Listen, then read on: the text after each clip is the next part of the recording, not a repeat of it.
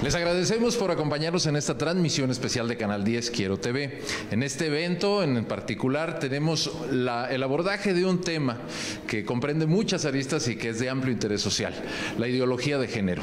Para abordarlo nos acompañan los autores del libro negro de la nueva izquierda, abogados ambos argentinos, Nicolás Márquez, Agustín Laje. Muchas gracias por su compañía. Bienvenidos. Muchas gracias por la invitación. Yo soy eh, cientista político, no abogado. Aclaro por las dudas. Científico muy bien. Yo sí. Muy bien. Y también está con nosotros historiador y fundador de Códice, de Cohesión de Diversidades para la Sustentabilidad, Jaime Cobian Zamora. Gracias, Jaime. Muchas gracias por la invitación. Muy amable. Pues eh, empecemos por, por, el concepto, que aparentemente es muy conocido, pero casi me atrevería a decir eh, poco explicado. Ideología de género. Eh, si nos permiten, ¿cuál sería primero una definición para poder ingresar en este tema ideológico? Nosotros entendemos que la ideología de género acontece cuando de una variable sociológica como es el género, que es válida en sí misma, se totaliza el campo de la explicación de la sexualidad. Ah, el sexo siempre fue género, dirá Judith Butler, una de las máximas exponentes intelectuales de la ideología de género o de la teoría de género, como ustedes quieran. Eh, la ideología de género, en una palabra, es un conjunto de ideas anticientíficas que con fines políticos autoritarios tienen el efecto de desarraigar de la sexualidad humana su naturaleza y explicarla exclusivamente a partir de la cultura. La idea fundante de la ideología de género es que hemos sido construidos por un entorno histórico, cultural, social, económico, político en nuestros términos sexuales y que para liberarnos debemos deconstruirnos, volver a una especie de tabula rasa y a partir de ahí inscribir nuestra realidad a partir de nuestra autopercepción, bajo el subterfugio de que la autopercepción engendraría realidad. Esto no solamente es anticientífico, sino que nosotros ponemos el acento en su carácter carácter autoritario en la medida en que no existe ideología de género sin estatismo, sin el poder coercitivo del Estado, la ideología de género sería simplemente una filosofía de vida más que estaría muy bien para ciertos grupos. El problema que nosotros venimos a denunciar es que no hay ideología de género sin el poder represivo del Estado. Jaime Cobian, a propósito de su opinión, también preguntarle añadidamente si esto se está promoviendo desde el Estado en México. No, esa es una falacia y, bueno, no pueden venir a denunciar porque no son mexicanos. Entonces desde ahí estamos mal, ¿no? Yo no este, me permite. Eh, lo que puedo decirle es que eh, el Estado no tiene ninguna injerencia en eso lo que está sucediendo es que estamos viviendo en un país con más libertades como lo están viviendo los argentinos, ¿no? En donde el derecho a decidir sobre tu cuerpo, al sentirte como tú quieras, es tu garantía, que te lo es la garantía que te, ejerce la constitución de, de nuestro país. Lo importante aquí es que el Estado debe de comenzar a dar derechos, a dar derechos a toda la población, a nadie ser excluido y que las verdades no son verdades absolutas, ellos tienen una verdad y nosotros también, también tenemos nuestras verdades. Y el Estado garantiza eso, precisamente, que cada quien tenga su verdad, pero lo que tiene que estar garantizando el Estado es no ser la conciencia de la gente. O sea, el, Estado no se debe meter en tu cama, tú decides con quién o cómo te sientas, esa es una, una decisión tuya, es lo que debe garantizar el Estado. Nada más el concepto de ideología de género, ¿existe o no existe según su Dentro del Estado no, en el Estado mexicano no existe esa ideología de género. Eh, ¿Puedo hacer una...? A ver, dijo que no somos de México, efectivamente no somos de México, por eso yo no me refería a México. Pero seguidamente dijo que el Estado no tiene injerencia y evidentemente sí la tiene porque hoy la CONAPRED, por ejemplo, está pidiendo que se censure nuestra charla en el auditorio Palco. Hay grupos eh, LGBT, por ejemplo, infancias trans, que están pidiendo que se nos expulse de este eh, país con el artículo 33 de la Constitución cuando nosotros no hablamos sobre casos mexicanos antes de llegar a México, estas ONGs LGBTTQI+, le pidieron al gobierno mexicano que no nos dejaran ingresar a este país.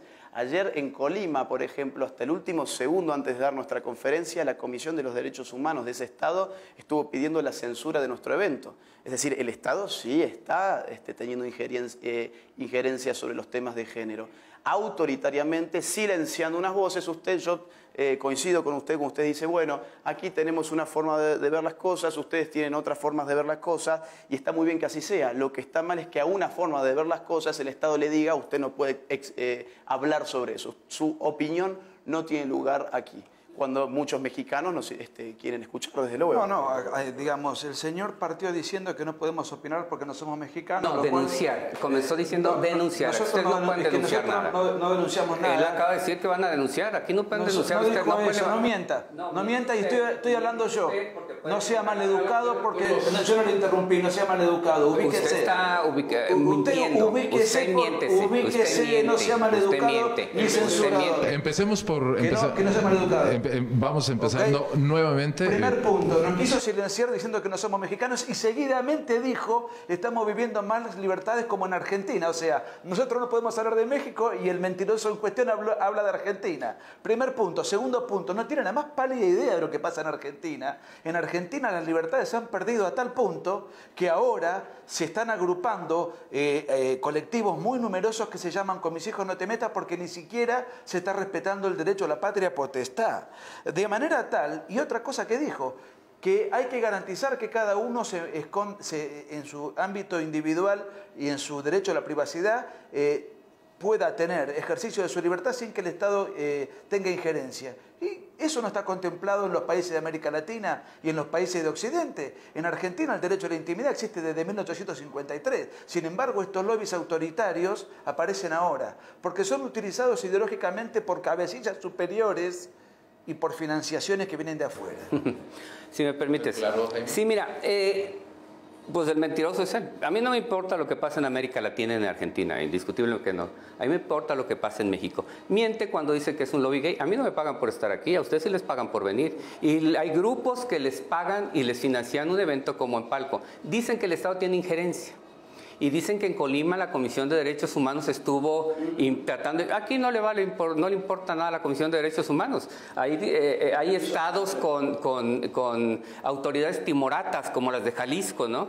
Eh, temerosas, miedosas de aplicar la ley. Si se aplicara la ley, como nosotros queremos por el derecho que tenemos de ser mexicanos, porque ustedes no pueden, no tienen el derecho de venir a sembrar el odio aquí en nuestro país. eso no es derecho. Entonces, por eso nosotros interpusimos las quejas ante la Secretaría de Gobernación. Y quizá lo que les debería de, entender ustedes y su obligación al entrar a nuestro país es conocer el Estado democrático y de las instituciones, porque la CONAPRED es una institución independiente. Las comisiones de derechos humanos no son del gobierno. No, no mientan, no, no son del gobierno. Usted acaba de confirmar que me acaba de decir, Me acaba de decir que no soy respetuoso y maleducado y usted me está interrumpiendo. Usted está mintiendo. A ver. Y usted miente, yo no... Ah, entonces cuando usted mienta lo callo también. Yo no miento. Eso no, yo no miento. uno a la vez. Es lo que hace la Constitución de nuestro país. Uno a la vez. La Constitución de nuestro país nos permite que usted diga sus verdades, que cualquiera de los que están aquí diga las verdades, está aquí expresando sus verdades y va a tener un evento de, en Palco de, eh, donde va a expresar usted sus verdades y tiene todo el derecho. Por eso también los gays y lesbianas y personas trans tenemos el derecho de expresar nuestras verdades, que no son verdades absolutas. A nosotros nos preocuparía cuando tenemos autoridades timoratas como las del Estado de Jalisco o los municipios o el gobierno federal que no aplican la ley adecuadamente para no permitirles que estuvieran ustedes aquí, nos preocuparía que fuera una serie de eventos en el Estado de Jalisco donde fueran miles de gentes comprando sus boletos. Pero esa es una farsa la que están haciendo en Palco porque les venden a las universidades los boletos a las universidades de la escuela. Está bien, está mal, yo no sé, a mí no me importa, pero le digo, esa es la medida del Estado.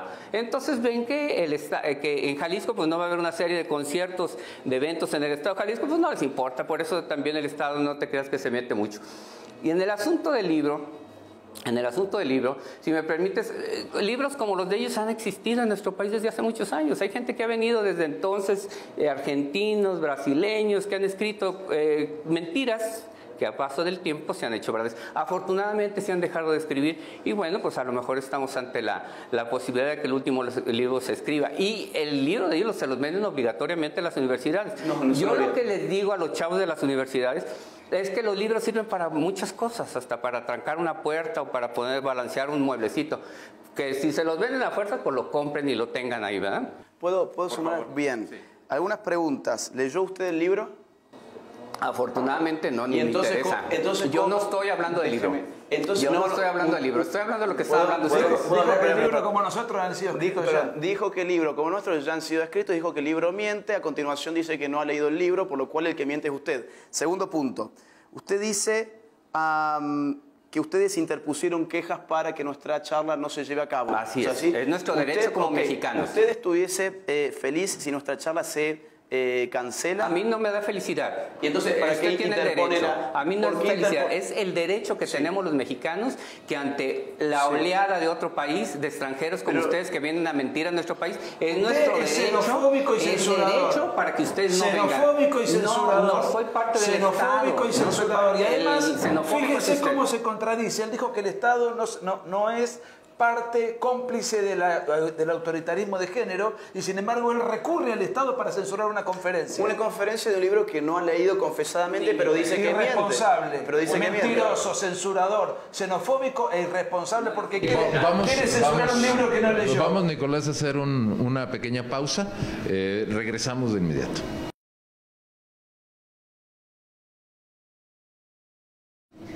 Seguimos en este diálogo, debate naturalmente sobre la obra que se está presentando, ahí la tiene usted, el libro negro de la nueva izquierda, y se incorpora con nosotros Leonardo Espinosa. Por su reciente llegada, le quiero ceder la palabra primero, Leonardo, y retomar el tema que nos trae aquí a todos, el concepto de ideología de género y la participación del Estado en su imposición o en su promoción. ¿Hay o no ideología de género? Fíjate que la ideología de género es un término que se utiliza para denostar las acciones que nosotros hacemos. Realmente la ideología de género es la que personas con, por ejemplo, este libro promueven. Ellos tienen una idea de cómo debería de ser la sociedad. Sin embargo, esto dista mucho de la realidad. Ahora sabemos que la sociedad en esta actualidad es totalmente diversa, que habemos personas heterosexuales, homosexuales, lesbianas, bisexuales y trans, y que existimos, y que aunque no quieran, pues vamos a seguir existiendo. Entonces, esa palabra justo se utiliza para denostar todas estas acciones que reconocen los derechos de los seres humanos. Aquí en México la constitución es súper clara, en el artículo primero, en el cuarto, en el quinto, en el que habla de la salud, del trabajo, de la educación, todos tenemos los mismos derechos y estos tienen que estar protegidos por el Estado. Además tenemos una serie de leyes que protegen estos derechos. En el estado de Jalisco también el Código Penal penaliza el que existan acciones en contra de los derechos de las personas, que les limiten o les anulen el acceso a estos derechos. Además de todo eso, existen otros, los derechos no son como una moneda de cambio. No es, por ejemplo, ok, yo, tengo, yo te doy tus derechos y tú me das los míos. No, los derechos, sobre todo el derecho a la no discriminación, es un derecho que tiene que existir independientemente de si alguien lo da o no lo da. En Códice nosotros trabajamos para que las personas conozcan sus derechos y tengan acceso a ellos. No solo las personas LGBT, sino cualquier persona que esté entrelazada en toda esta estructura que somos en la sociedad. Muy bien, Leonardo. Ahora, eh, les quiero plantear algo y, volvemos pues a la participación. eh, el tema de la educación. Me queda claro que las personas que defienden su derecho eh, van a seguir participando en cualquier espacio público. Solo que en la- a la luz de este libro les quiero plantear, ¿participa el Estado modificando los programas de educación para implantar una ideología en este sentido? A ver, no hay ningún lugar a dudas. Por otra parte, cuando hablamos de ideología de género, no nos estamos refiriendo a la orientación sexual de las personas y a lo que esas personas hagan en su vida íntima. No nos interesa. Estamos hablando de una ideología política, autoritaria, que desarraiga de la sexualidad humana su naturaleza y la explica exclusivamente a partir de la cultura. Y en el ámbito educativo. En el ámbito educativo, desde luego, y tenemos un ejemplo de hace cuatro días, eh, que fue en, eh, eh, sí, Querétaro, perdón. En Querétaro, cuatro mujeres, madres de familia, fueron a la vía pública con unos carteles que tenían el lema, a mis hijos los educo yo, con mis hijos no te metas, por una cuestión de trans que habían sido incorporados a leer libros a los niños de ciertas escuelas y esas mujeres fueron apresadas por el Estado porque no podían tener ese cartel, a mis hijos los educo yo, con mis hijos no te metas. ¿Realmente Desde fueron luego, apresadas por el Estado? efectivamente, efectivamente. Eso, eso no es cierto. Eso sí es cierto. Eso sí es cierto y en Querétaro fue un revuelo. Eso sí es cierto. Eh, a los padres se le está quitando el derecho a educar a sus propios hijos conforme sus valores. ¿En México o en América Yo Latina? no, yo no puedo hablar específicamente sobre México porque, como ya señaló nuestro amigo, este, estamos al borde de No que nos expulsen amigo, del ¿eh? país. No, Bueno, mienta. ¿perdón? no soy su amigo. Quería ser amable con No, usted. no, no, nada no soy su amigo. no. Algo, Quería ser algo amable, importante nada que tenemos No que, se pierde que nada. No, sí, tener claro que claro sí, parece que es yo soy que su amigo. justo No, no, el no. tergiversar la verdad, de esta, la verdad de esta manera es lo que hace que exista la ideología de género como ellos la explican. Realidad, realmente esto no sucedió en ningún momento, no se ha apresado absolutamente a nadie por tener un cartel en la calle Sí pasó. y lo que sucede es que hay artistas que llevan el arte y la cultura a los niños, en este caso cuentacuentos. Entonces, a ellos no les parece que de pronto, como siempre ha existido, ¿Cuáles son los cuentos que vengan cuentan? A, a contar cuentos en personas eh, de drag, del arte del drag. Independientemente de esto, eh, porque ellos lo ven mal, porque ellos creen que la sexualidad de una persona está definida por cómo se ve y así la juzgan. Creen que una persona vestida de mujer pues es una persona mala y nociva para los niños. Sin embargo, eh, pues No es genera confusión, Leonardo, ¿Qué confusión? en los niños. ¿Qué tipo de confusión generaría? ¿Cuál es los puertos que usan? O sea, Pregunto, yo lo que le pregunto. es qué confusión generaría. Usted diga. bueno, Fíjate, te voy, te voy a hacer una, Sí. te voy a hacer una aportación histórica. Lo que, pasa, lo que pasa es que el señor llegó tarde y ahora quiere monopolizar eh, el tiempo que perdió por ser irresponsable. Primer punto, habló mal del libro, ¿lo leyó? ¿Qué capítulo, ¿En qué capítulo no coincide? Primer Pri- punto, primer no he hablado del libro. Sí, lo habló, mencionó nuestro libro, mencionó nuestro, el- nuestro libro, no lo leyó, igual que el señor, mencionan un libro, No atacan, señale, ata- esto es mala educación, atacan un no libro que no leyeron, atacan un libro que no leyeron. Mire, el que está quiero- atacando déjeme es hablar, no sea maleducado y llega temprano maleducado y, y lo que le toca. primer minuto me, me eh, promover, promover en los niños la homosexualidad es una eh, irresponsabilidad institucional. En El- México, ¿en el- dónde se promociona la Estoy hablando yo, estoy hablando eso, yo, estoy hablando ¿dónde yo, la estoy hablando yo, estoy hablando yo. Según datos de la ONU, el 1,6% de la población es homosexual, pero el 80% de la población con VIH en América Latina es homosexual. El- las personas homosexuales, según datos de la, de la Fundación LGBT de Madrid, las personas homosexuales tienen el triple de propensión a las drogas que las personas heterosexuales. Tienen 14 veces mayor propensión al suicidio. En Occidente, un individuo homosexual vive entre 20 y 25 años menos que una persona heterosexual. ¿Qué tiene que hacer el Estado con los homosexuales? Sencillamente respetarles el derecho a la intimidad, pero en modo alguno promover encima a los niños una conducta confirmadamente insana y disvaliosa. Datos de la ONU y del Ministerio de Salud de Estados Unidos. Algo, yo primero, primero. Lo- algo de que quisiera poner claro es que justamente todas estas poblaciones de las que este la- él está hablando son las poblaciones más discriminadas, por eso son las poblaciones más vulnerables a todos esos asuntos que él dice. Y justo estos libros son los que promueven ese tipo de discriminación. Si nosotros continuamos con este tipo de... Además el Estado en ningún lado promueve la homosexualidad como estilo de vida. Y les voy a decir algo, si a cualquier... Hablamos de México, ¿verdad? En México, no, se el Estado mexicano, si, si a cualquiera de ustedes les promueve la homosexualidad como estilo de vida, ¿ustedes lo van a, a tomar? O sea, necesitan que alguien les promueva un estilo de vida para ustedes tomarlo. Realmente la gente no es así. 44 años no, pero un chico de 5 años Eh, sí. Dijimos educación, señor Kaiser. Usted no se meta, estoy con señor. Eso no sucede, no sucede de esta manera. ¿A quién le van a promover un estilo de vida en el que le van a discriminar, en el que le van a acosar, en el que van a venir personas de otros países para hablar mal de sus familias y no reconocerlas? ¿Quién va a querer escoger eso? Bien, Jaime. Ahora, ya, mira, desde los grupos conservadores desde 1908 han estado en contra de la educación, de la educación del Estado. La primer, el primer eh, eh, debate que hubo en este país con Porfirio Díaz era sobre las escuelas mixtas. Las escuelas mixtas no tenían que ver que hubi- que hubiera niños o que hubiera niñas, no. Las escuelas mixtas eran que tenía que haber la libertad para que la gente ejerciera la religión que quisiera. Y entonces en las escuelas, como el Estado iba a garantizar la educación por parejo, pues en, la- escuela mixta iba a haber niños de cualquier religión. Entonces por eso se unificaban criterios para la educación. En los años 30, eh, los problemas con, con las reformas educativas que, eh, eh, que pedían que hubiera deportes para mujeres y para niños, los grupos conservadores estaban en contra de la educación deportiva de las mujeres porque decían que se iban a hacer marimachas y que se iban a ser lesbianas y que ya no iban a tener hijos. Yo quiero saber qué estadística nos habla de México que por dar educación deportiva a las mujeres eh, están estas cuestiones, ¿no? Y así ha habido como estas eh, referencias que el Estado promociona la homosexualidad y muchas otras cosas. Lo que tenemos que nosotros es definir y, dividir dos asuntos. el, principal es, que a mí me importa, es que el Estado garantice la libertad que yo tengo y las obligaciones que el Estado tiene para conmigo y las obligaciones que yo tengo para el Estado. Esos, y que el Estado garantice mi visibilidad y mis derechos. Lo que la gente piense, lo que la gente haga, lo que promocione, no es un asunto que nosotros tengamos que hacer. Nosotros no estamos en un lobby gay, como dicen, no existe. A mí, ¿quién me paga por andar en esto? No es cierto. Yo tengo 35 años en el activismo por los derechos de los homosexuales, lesbianas y personas trans en el Estado de Jalisco y a mí nunca me ha pagado nada. Pero, sin embargo, sí hay lobbies para defender la pederastía. Por ejemplo, de parte de la iglesia, aquí tenemos a Sandoval Íñiguez, a Noberto Rivera, hasta el Papa. Somos uno de los primeros eh, estados creadores de pedófilos. Ahí está Maciel con financiamiento de la gente. Ahí sí hay un lobby que defiende a los pederastas y con financiamiento de la iglesia y de los eh, feligreses. Otro terreno muy espinoso, Jaime. Sí, sí adelante.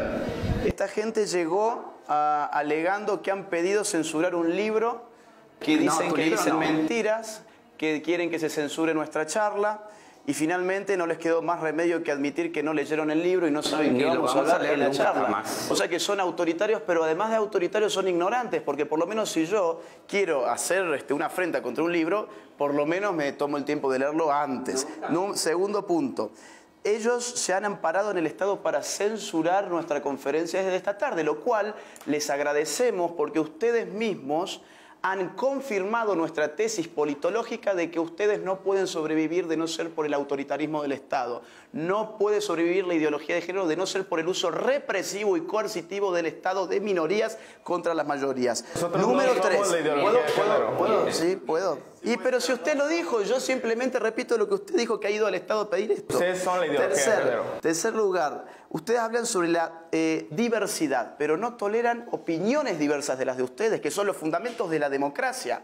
Tanto así que lo que piden es que se censure una charla porque tiene una opinión que no va de la mano de la suya. Entonces, todo lo que está en este libro, ustedes lo acaban de confirmar, se los agradecemos muchísimo. Nosotros no censuramos que muchísimo. fíjese, le voy a decir una cosa, si me permite. No censuramos, no censuramos la posibilidad de que en México muchos de sus compañeros y de los que les pagan y les financian su venida aquí, ellos todo el año están atacando a nuestra población. No necesitamos gente extranjera para que venga. Y nuestro derecho es pedirle al Estado que no le permita a extranjeros venir a nosotros a se hizo, se hizo la solicitud. Bien.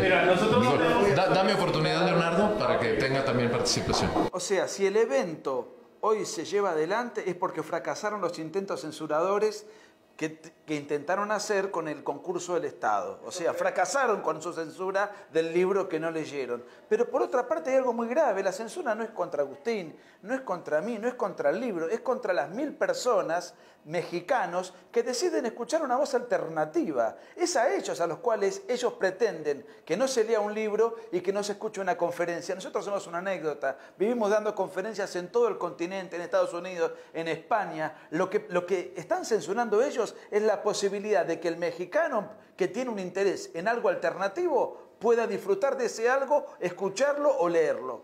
Bien, el tiempo se nos está agotando, Leonardo. Nos quedan unos pocos minutos. Les quiero hacer un planteamiento a los cuatro. ¿Cuál es digamos, si, si, es posible preverlo, cuál es el desenlace de esta historia. Porque finalmente el libro también hace referencia a una etapa histórica que concluye con, el, con la caída de la Unión Soviética. Y estamos en una etapa nueva. ¿Esto en qué va a concluir? Porque me queda claro que las personas diferentes no van a desaparecer. Entonces, me gustaría que me dieran ustedes una lectura, ustedes también, de hacia dónde nos dirigimos en la circunstancia actual. Porque las posiciones son excluyentes una de otra. Creo que necesitamos de ser firmes en la protección de los derechos. En México, la libertad de expresión protege que cada quien pueda tener una opinión y expresarla, hasta el punto en el que esta llama a limitar los derechos de las personas. El título y los, y los comentarios de este libro y de esta presentación que se va a hacer es bien clara. Habla de los cuales de los de los falsos derechos. Entonces, no es eh, no podemos dar cabida a este tipo de de agresiones, porque claramente es una agresión contra nosotros y pedirle a nuestras autoridades que estén vigilantes y que trabajen, que trabajen, que realmente hagan valer los derechos humanos de las personas, porque no podemos permitir que cualquier persona venga a decirnos que nuestra familia no debe tener la misma protección del Estado, que el Estado está promoviendo un estilo de vida incorrecto, porque llaman a nuestro estilo de vida incorrecto, que nuestros derechos son falsos. Eso es ese es como el cinismo más grande que cometen estos dos invitados. Gracias, gracias por confesar lo que denunciamos. Te agradezco mucho. Eh, les quiero ceder una y una vez. Si me, ¿Quién quiere? Por, favor, usted.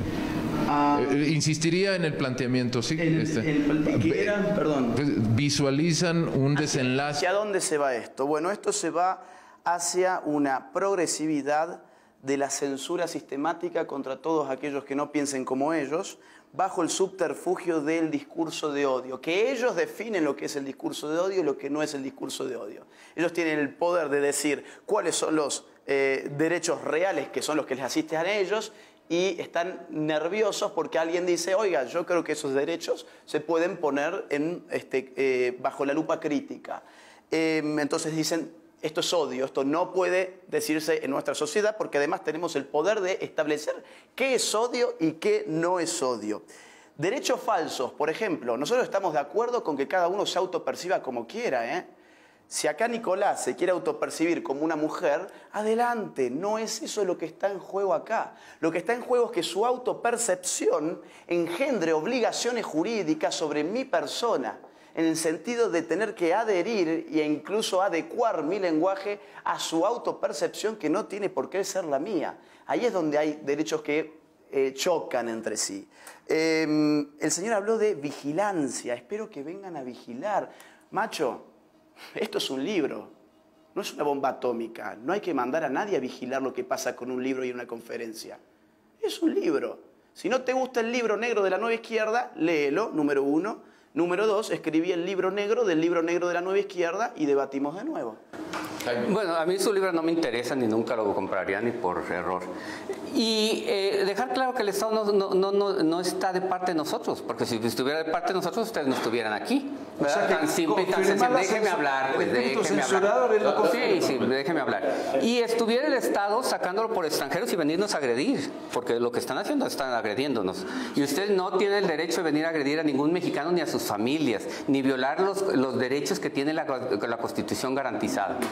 Pero algo que sí tiene que quedar claro es que gracias a estas gentes que existen, como los demás compañeros que los acompañan aquí de todas las familias, no sabía que tenía que traer uno porro, si no me hasta banderas me hubiera traído. Este, gracias a esta intolerancia, nuestro país ha cambiado.